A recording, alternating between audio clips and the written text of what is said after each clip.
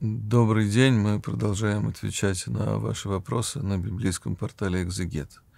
Вы спрашиваете экстрасенс и прозорливый старец. В чем разница? Ну, я не знаю, кто именно задает такой вопрос, э, для кого из вас не очевидна эта разница, но постараюсь объяснить. Э, Евангелие говорит нам, что все познается по плодам. А, знаете, есть э, сны, вещи. Вот, это или некие явления человеку из э, потустороннего мира.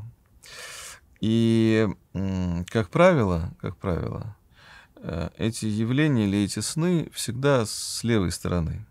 Ну, как и вообще помыслы, которые всеваются в наш разум постоянно. 99,9% это от лукавого все мысли. Э, как узнать, как узнать? Отцы говорят, что если вдруг вы увидите сон или видение некое от Бога, то у вас не будет ни триллионной, триллиардной доли сомнения, что это от Бога. Почему? Потому что плод этого видения будет удивительное райское спокойствие и радость для вашей души. Явления же с другой стороны, с левой, они всегда э, такие достаточно понятные, четкие, всегда немножко пугающие и всегда очень приземленного характера. Вот э,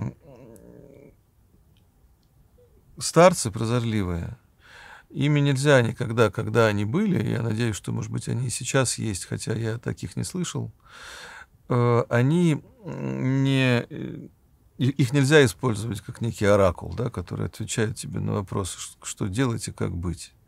Вот соприкосновение с ними, общение с ними, это не решение какого-то вопроса, не ответ на там сколько, какой лотерейный билет мне купить и какие там числа написать, чтобы выиграть. А это именно состояние, когда ты находишься рядом с человеком, который приближается к святости, или святым человеком.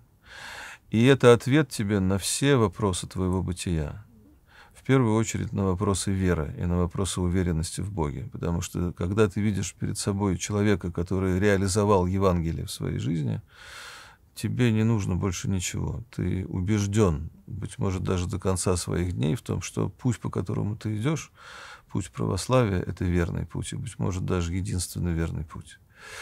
А что касается э, экстрасенсов и подобных людей, потому что людей множество таких, которые имеют так называемое дарование, вот, в больших-больших кавычках жирных и темных. Таких людей множество. Э, дьявол такие, в кавычках, дары раздает щедро. Как правило, люди эти, когда они приходят всерьез в церковь с покаянием, тут же утрачивают этот дар. Как правило, это ответы на какие-то сиюминутные человеческие вопросы с желанием как можно больше человека вовлечь к себе в, в доверие, чтобы потом обмануть его. То есть обычные лживые бесовские игры, которые могут продолжаться часто всю вашу жизнь. Э, цель дьявола никоим образом вам не помочь, вот, не доказать, что он лучше и мудрее Бога. Цель дьявола одна — это погибель вашей души. Он, как говорит Христос, дьявол, был человека-убийца от начала. Никаких других э, чувств э, к вам у него нет.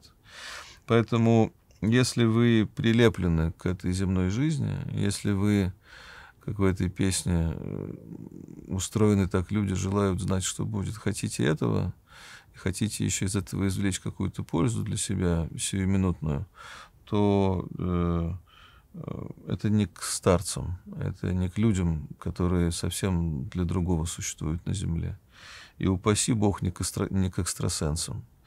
А совсем просто это решается. Вы посмотрите на себя внимательно, на то, как вы живете, на то, как вы существуете, на то, как вы трудитесь, на свой талант. Вы вполне можете дать себе эту оценку. Она будет не очень для вас радостная, не очень лицеприятная, но достаточно точная, потому что мы знаем про себя, кто мы такие есть. И попробуйте, дав себе эту оценку, сказать, а вы действительно заслуживаете того, о чем вы просите.